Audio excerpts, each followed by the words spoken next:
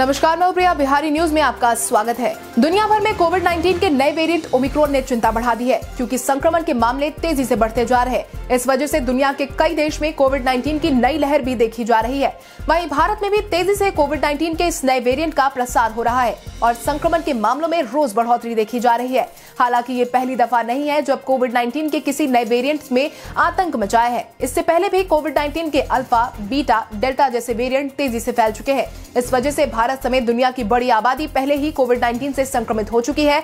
ऐसे में अब यह सवाल उठने लगा है कि क्या पहले कोविड 19 से ठीक हो चुके लोगों को फिर से संक्रमित होने का खतरा है, जिसको लेकर अब विश्व स्वास्थ्य संगठन ने अपना बयान जारी किया है। हालाँकि लोग यही उम्मीद कर रहे थे कि ओमिक्रॉन से संक्रमित होने के उन लोगों की संभावना नहीं है, जो लोग पहले ही संक्रमित हो चुके हैं, लेकिन डब्ल्यूएचओ की राय इससे ठीक उलट है। विश्व स्वास्थ्य संगठन ने साफ़ कहा है कि कोविड 19 से पहले ठीक हो चुके लोगों को भी कोविड 19 का यह नया वेरिएंट ओमिक्रॉन दोबारा संक्रमित कर सकता है। डब्ल्यूएचओ ने साफ़ किया है कि यह वेरिएंट लोगों की इम्यूनिटी को धोखा देते हुए लोगों को संक्रमित कर सकता है। वहीं जिनका टीकाकरण नहीं हुआ था और जिन्हें कई महीनों पहले टीका लगाया गया था, यह उनको भी संक्रमित कर सकता है। इसको लेकर विश्व स्वास्थ्य संगठन ने अपनी वेबसाइट पर एक नोटिस जारी किया है, जिसमें उन्होंने कहा है कि जो लोग पहले कोविड 19 से ठीक हो चुके हैं, उनमें डेल्टा की तुलना में ओमिक्रॉन से दोबारा संक्रमित होने की संभावना तीन से पाँच गुना अधिक है। हालाँकि इसके साथ ही साथ विश्व स्वास्थ्य संगठन ने यह भी जोड़ा है कि अभी तक ऐसे कोई सबूत नहीं मिले हैं कि कोविड नाइन्टीन का यह नया वेरिएंट डेल्टा वेरिएंट की तरह संक्रमित व्यक्ति को गंभीर रूप से बीमार करता है या नहीं?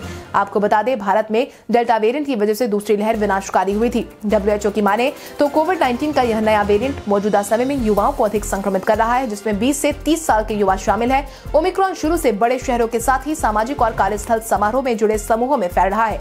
हालाँकि कोविड 19 का यह नया वेरिएंट किस हद तक खतरनाक है, इसको लेकर कोई आधिकारिक पुष्टि तो नहीं हुई है, लेकिन अध्ययनों में यही कहा गया है कि अन्य वेरिएंट के मुकाबले कोविड 19 का यह नया वेरिएंट कम खतरनाक है। लेकिन फिर भी डब्ल्यूएचओ ने कहा है, अपनी रिपोर्ट में इस नए वेरिएंट में भी बचाव करने की अपील की जाती है, क्योंकि कोविड 19 की प्रवृत्ति यही रही है कि वो समय के साथ अपने वेरिएंट को बदलता है। अगर ऐसा हुआ तो म्यूटेशन होगा और यह नया वेरिएंट और ज़्यादा संक्रामक और घातक हो सकता है। हालाँकि कोविड 19 के इस नए वेरिएंट ओमिक्रॉन पर लगातार रिसर्च जारी है। इसके साथ ही आज के इस वीडियो में बस इतना ही।